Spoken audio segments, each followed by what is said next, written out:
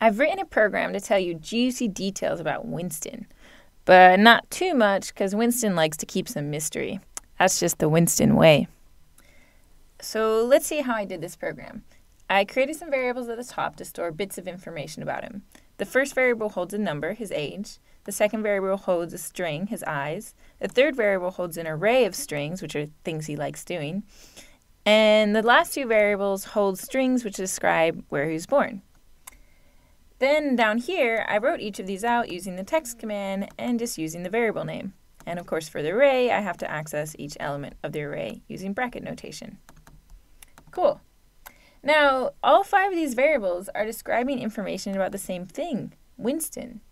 But the variables don't know that they're about the same thing.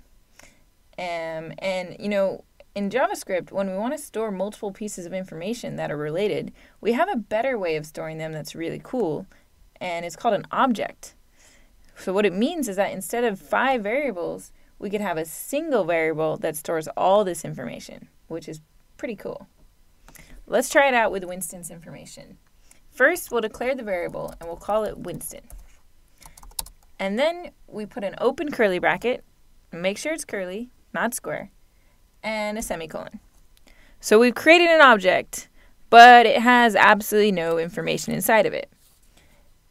So to add a bit of information, we need to add properties, and each property is a key and a value. For example, age would be age 19. Okay? And then for eyes, we're to add a comma, and then eyes black. Okay, cool. So now Winston has two properties inside the object. Uh, for likes, we can just get likes, and then I'll just copy paste this from up here. Um, very nice. So let's look at this. Winston has three properties. Every property has a key, which is what's on the right-hand side, and a value, which is what's on the left-hand side. For the key, it should follow the same rules as JavaScript variable names. Uh, no spaces, start it with a letter, all that. For the value, it could be any type of value we've seen so far. It could be number, it could be string, it could be array, it could even be uh, a boolean. So we can add is cool, true, of course. Um, in fact, the value could even be another object. So birth city and birth state. Those really are bits of information about the same thing, which is a single location. And so I think it'd be make more sense if we stored it as an object. I'll add another key, birthplace, and then for the value, I'm going to put my curly brackets again. And then inside, I'll have key for city, say Mountain View, and then state, California. Great. So now you can see you can really store very rich information inside an object. All right, so now that we have this nice object that describes all this information about Winston, let's try deleting those old separate variables that didn't know about each other. Okay, um, uh-oh. Uh, so now we've got an error, and that's because our text commands are referencing the old variables. We need to update them to use the information from the object instead. Let's start with just commenting out the last three so that we can do one at a time. Okay, so it says Winston age right now. What we need to do is replace that. So we'll type Winston, because that's a variable name. Notice if we just leave it like that, it says object object. That's really gross.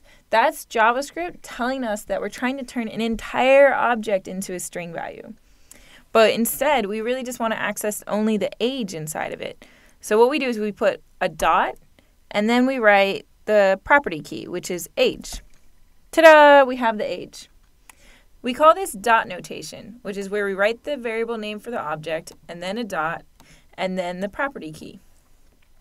Okay, so we can go and do more now. Let's uncomment this. And then instead of Winston eyes, we'll just say Winston dot eyes. And then for this one, it'll be Winston dot likes and then Winston dot likes one. And then for this last one, it's a little more complicated because it's an object inside an object.